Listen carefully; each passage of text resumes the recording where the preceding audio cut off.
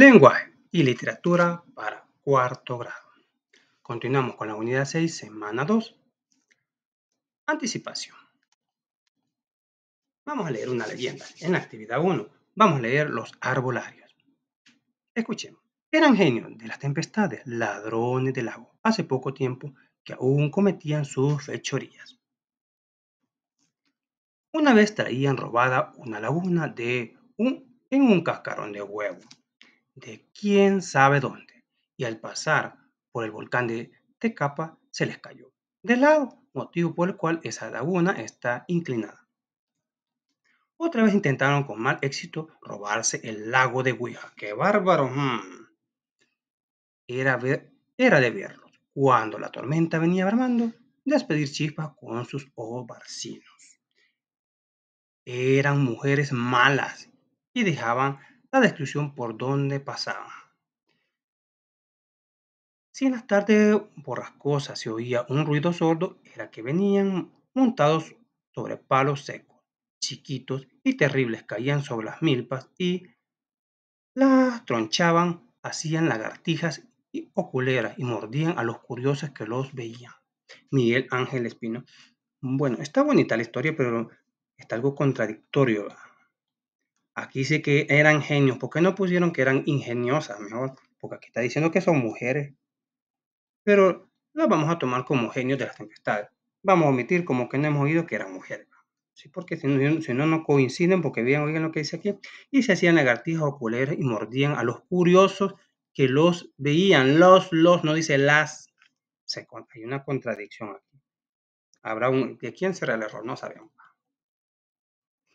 Bueno, por Miguel Ángel Espino. Resolvemos. ¿Quién eran los arbolarios? Desciframos.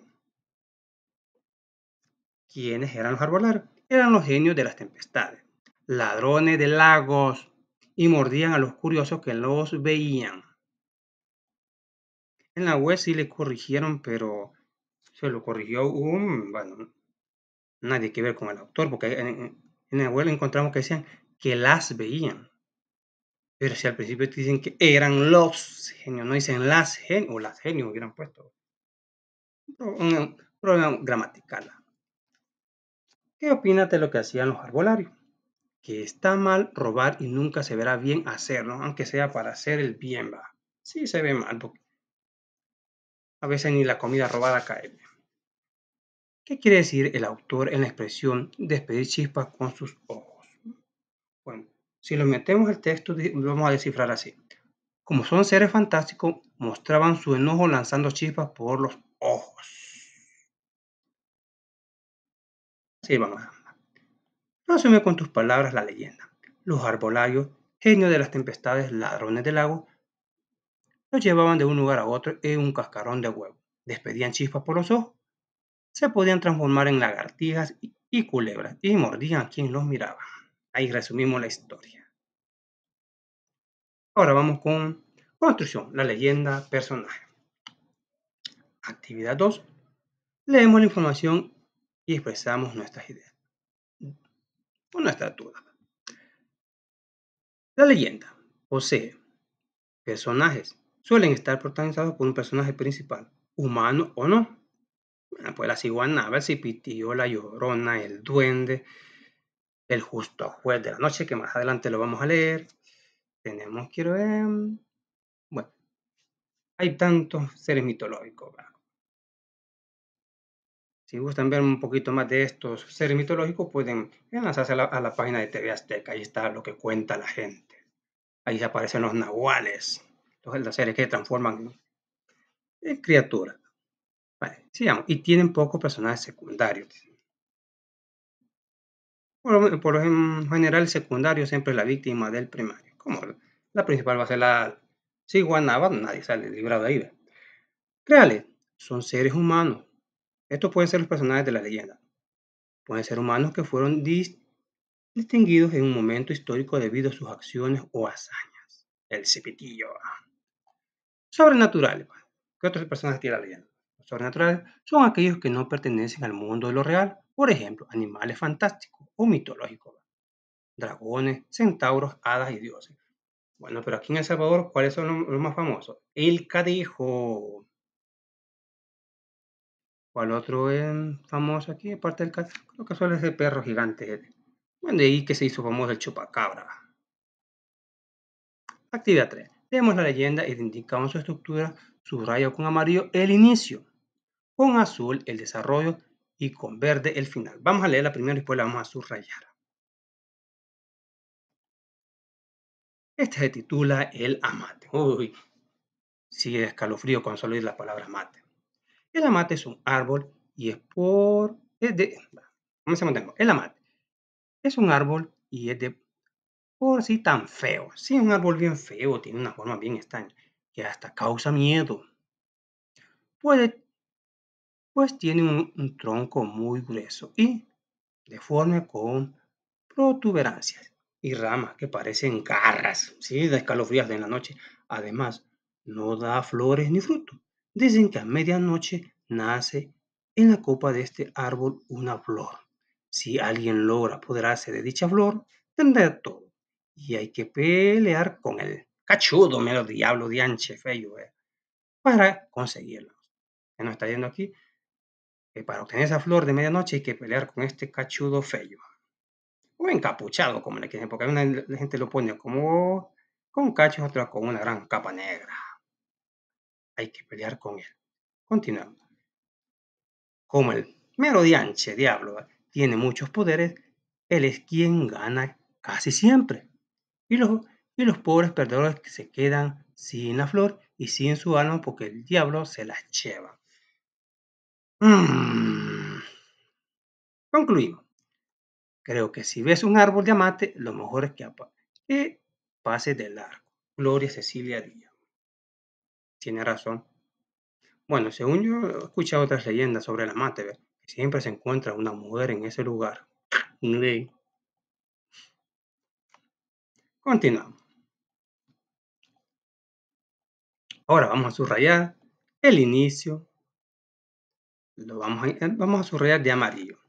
El amate es un árbol y, y es de por sí tan feo que hasta causa miedo, pues tiene un tronco muy grueso y deforme con protuberancias y ramas que parecen garras. Hasta ahí va a ser el inicio, va con amarillo, dice la sugerencia. Luego dice con azul el desarrollo. Además, no da flores ni frutos. Dicen que a medianoche nace en la copa de este árbol una sola flor. Si alguien logra apoderarse de dicha flor, tendrá todo y hay que pelear con el cachudo para conseguirla. Como el cachudo tiene muchos poderes, él es quien gana casi siempre y los poderes y los pobres perdedores se quedan sin la flor y sin su alma porque el cachudo se la lleva. Hasta ahí vamos a subrayar de azul. Y luego dice, vamos a subrayar de verde el final. Creo que si ves un árbol de amate, lo mejor es que aparezca de largo. Recuerdo que mi hermana, cuando llegó a una propiedad, le vio un par de amate, lo primero que le dije, mochalo. Porque si no te van a asustar. Continuamos. Vamos a ver unas cuantas leyendas. La ciguanaba llegó con las patas en la cara. Actividad 4. Describimos los personajes, el ambiente y el tiempo de las leyendas. Leemos el ejemplo. Personaje, la ciguanaba. Dice, es una mujer fea, con las uñas largas y pelo desgreñado, y que puede transformarse en una mujer bonita. La bruja de 71. Los hombres que trasnochaban y son infieles cuando la cuando ven a la ciguanaba se enloquecen. La ciguanaba se transformaba, se burlaba y se aleja, riéndose de su víctima. Ambiente aparece en los ríos, pozas, en zonas boscosas y caminos. Tiempo aparece a las horas de la noche. Por la descripción que me dan, me recuerdo una historia que me contaron allá por el, hace muchos años. La última vez que alguien dice que la vio, pero no es lo que ella vio. Según dicen que la muchacha estaba discutiendo con la mamá, al rato la muchacha se desmayó. Cuando despertó, le contó a la mamá que había visto una mujer con grandes colmillos. Así que no había no había sido la ciguanaba, seguro que otra cosa.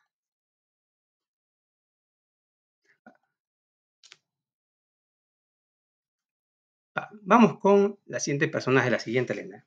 Vamos con Chasca, la Virgen del Agua. Era la diosa de los pescadores. Las pescas abundaban en esas noches. ¿Qué se aparecía? Se aparece en su canoa blanca en la barra de Santiago. En el tiempo, en las noches con luna. Más adelante, bueno, ya leímos esa historia. Vamos con el siguiente personaje mitológico. El Che Winnie. Tiene los pies al revés, mide cerca de 2 metros. Es como si fuera de plastilina. Y, le encanta la carne humana. Que ni se me acerque porque hago ah, hirviendo la mocha. Ambiente, sale en la zona boscosa, así como estaba viendo en la imagen. Qué feo. Parece un alien. Tiempo. En cualquier momento se puede tener la mala suerte de encontrarse. O sea que cuando veamos al, bosque, bueno, ya leímos la historia, que hay que llevar unas ramas y bailar para modo que se, se carcajee y se muera de la risa y salir corriendo en el momento. Pues. Continuamos.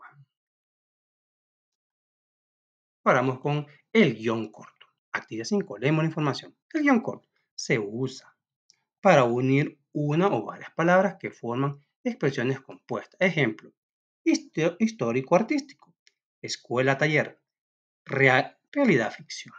Se usa para separar las palabras en sílaba. Por ejemplo, mi, ra, da, pa, pa, cha. Espejo. Otro método como signo de división de palabra al final de la línea. Por ejemplo, la leyenda salvadoreña presenta muchos personajes. ¿Ven aquí? Aquí no cabía lo que es toda la palabra salvado. Así que para no dejar inconcluso aquí que aquí termina, porque aquí es salvado reñas, diría, pero no. Como le ponemos un aquí, significa que la palabra quedó pendiente y dice salvadoreñas. Presentan, si aquí hubiera, digamos, teníamos que llevar en lo que sí tienen en común que tenemos que llevarnos tanto la sílaba con la vocal. No podíamos, digamos, la palabra mucho. No podíamos decir mush, os. No, teníamos que llevar toda la, la sílaba. Podemos dejar mu y el cha abajo. Aquí. Continuamos. Comentamos con nuestro compañero y compañera los casos en los que utilizamos el guion corto. También acuerda que también se ocupa cuando hacemos división de diálogos. Para describir el momento que cada personaje va a hablar, ponemos un guion. Coloco los guiones cortos donde correspondan. Tenemos los chon. ¿Tú crees que los buitres siempre fueron feos? Pues no. En tiempo lejano lucían un fabuloso plumaje y en su cabeza tenía preciosos cabellos rizados, pero los perdieron todos por golosos. Ya vamos a ver dónde vamos a poner el guion. Sigamos con la siguiente leyenda. Bueno, esta es una leyenda guatemalteca. Ahora vamos con la hermana república de Nicaragua. Vamos con La Chorona. Bueno, esta versión es muy distinta a la que yo les conté. En los campos nicaragüenses se oyen a menudo los lamentos siniestros de una mujer llamada La Chorona.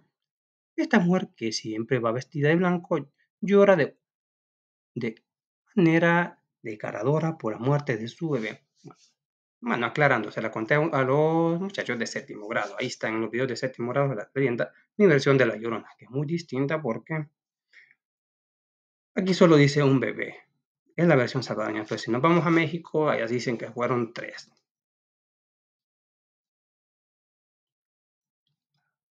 Ahora vamos a poner el guion. Vamos, vamos a poner el guion de los chon en los chon, la leyenda de los chon, fabuloso plumaje. Aquí quedaba pendiente la, la, palabra. Como les dije, tenemos que llevar toda la con, toda la, sílaba. Plu, no podíamos dejar la M aquí. Plumaje. Cabello. Que quedó pendiente. Nos llevamos toda la sílaba. Bellos. O podemos dejar cabe, pero no cabía aquí. Cabellos. Hasta ahí va. En la siguiente. En los campos nicaragüenses se oían a menudo los lamentos, ¿qué? Lamentos siniestros, puede ir unida con un guion. Siniestros. De una mujer llamada La Llorona. Esta mujer que siempre va vestida de blanco llora de ma, aquí quedó pendiente, acordemos, quedó pendiente aquí. Nos llevamos toda la sílaba. Nera, manera. Y ponemos el guion de manera desgarradora por la muerte de su bebé. Ay, mis hijos, ¿dónde están mis hijos? Uy, fea ese, lamento. Que por cierto, en, mi pueblo, allá hace muchos años, que no voy a decir qué año, sí dice que se oyó. Lo escuchó tanto mi bisabuelo como tanto el papá de uno de mis primos, que le escuchó un sábado en la madrugada. Al igual alguna señora que andaba chillando, pero gritaba como que era la llorona. Continuamos. Ahora vamos con la siguiente leyenda. Pongamos Coco porque vamos a hacer nuestra versión 2022 del, justo juez de la noche. O sea, que esta, así como la contaron, vamos a tratar de contar una versión de ella, pero en la versión 2022, adaptada a la problemática salvadoreña. Consolidación actividad 7. Leemos la siguiente leyenda. El justo juez de la noche. Como les dije, si quieren ver una historia de esto, pueden enlazarse en la página de TV Azteca. Ahí está, en lo que cuenta la gente, que por cierto dicen que ese capítulo fue grabado en El Salvador. ¡Wow! Por lo menos ya hay historias grabadas en El Salvador. Parece, no sé si en Atiquizaya, no es que grabaron esta, este relato de, de esta historia. Leamos. El justo juez de la noche. Especialmente en las noches plenas de luces una sombra alta y delgada se paseaba desde la parroquia hasta el pesquero. Varios trasnochadores la habían encontrado con la cara, con la rara visión. En aquellos tiempos los brujos habían invadido los pueblos de Cuscatlán. Fueron los pueblos de Cuscatlán, nuestra tierra salvadoreña. La propiedad vivía amenazada. Wow, parece decir, parece el 2022. El día de Santa María, en forma de distintos animales, cargaban con los granos y las frutas que hallaban a su paso. Eran ladrones. Los dioses tutelares escucharon las peticiones de los indios de Sensuntepec. En una noche de luna hizo su entrada en el pueblo un hombre alto. Curioso, tan alto como los pepetos de Amatillo. Parecía hecho de una nube pavorosa. Pongamos atención porque nos van a hacer preguntas sobre esta leyenda también. Las personas que tuvieron la ocasión de contemplarlo sintieron una sensación de confianza y bienestar. Desde aquel día los brujos no pudieron hacer sus incursiones nocturnas. Pandilleros eran, ya disfrazados de brujos, pobres brujos. No, bueno, no es que sean pobres brujos, pero ya eran delincuentes. Aquel personaje alto y sutil como la niebla se paseaba por las calles del pueblo, acariciando por la brisa y a la luz de los luceros. Las mujeres bonitas abrían sus ventanas para ver aquella sombra blanca, wow, picarona, para ver pasar al gigante de los hermosos ojos, solo por los ojos. la luz de la luna jugaba con su cabellera y la tornaba de color de plata. Era un gigante de luz. Sus paseos terminaban cuando la aurora se asomaba a mirarlo sobre la falda del cerro de Cutuco. El gigante de, nieve pasaba por el Calvario, salía por la ceiba y se le perdía al otro lado del cerro. Moitán. Las octareas y los vecinos se reunieron para celebrar grandes festivales en honor a su dios. Sus peticiones habían sido oídas. La brujería andaba de capa caída. La propiedad era respetada. El personaje vaporoso tenía la virtud de ahuyentar a la bruja y hechicero. Todos los vecinos quieren y admiran al personaje nocturno. Oh, parece el 2023. Algunos niños han intentado tocarlo, pero solo le ha quedado en su manecita el efinero vapor planteado. Desde entonces el justo juez de la noche sigue siendo el símbolo de la bondad y la justicia. Bueno, al principio yo creí que era malo. Cuando el Señor me dijo, ahí le va a salir justo juez de la noche, yo creí que algo malo. No, dice, es un símbolo de bondad y de justicia.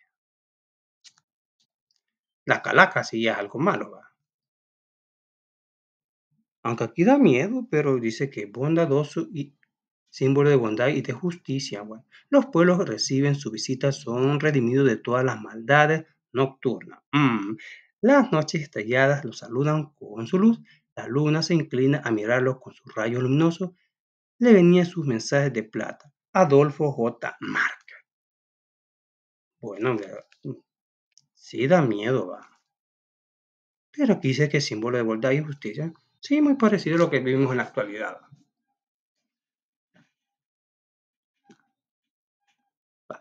Resolvemos. Describimos al personaje que llegó al pueblo. Era una sombra de un hombre. Color la sombra blanca. Era alta y delgada. Parecía hecho de una nube vaporosa. Los ojos, los, los hermosos ojos. La luz de la luna jugaba con su cabellera y la tornaba de color de plata. Era un gigante de luz. Así podemos describir al justo juez de la noche. ¿Cuál es la virtud de los justos jueces de la noche? Ahuyentar a las brujas y hechiceros que no respetaban a los demás. Vamos a ir retomando esto porque vamos a hacer la versión 2022 en, unos momentos. Explicamos por qué los vecinos miraban al justo juez de la noche. Porque es un símbolo de la bondad y de la justicia. Cuando los pueblos reciben su visita, son redimidos de todas las maldades nocturnas y de cualquier hora en, estos años reescribimos la leyenda del justo juez de la noche ubicándolo en el año 2022. Vamos a ver si nos sale bien. En aquellos tiempos, antes de 2022, los brujos y delincuentes habían invadido los pueblos de Cuscatlán. Vamos a, ocupar siempre la palabra brujo porque muchos de estos delincuentes que se están agarrando, algunos reencontraron con sus altares al cachudo, así que vamos a dejarla, no es que vamos a estar discriminando a los brujos.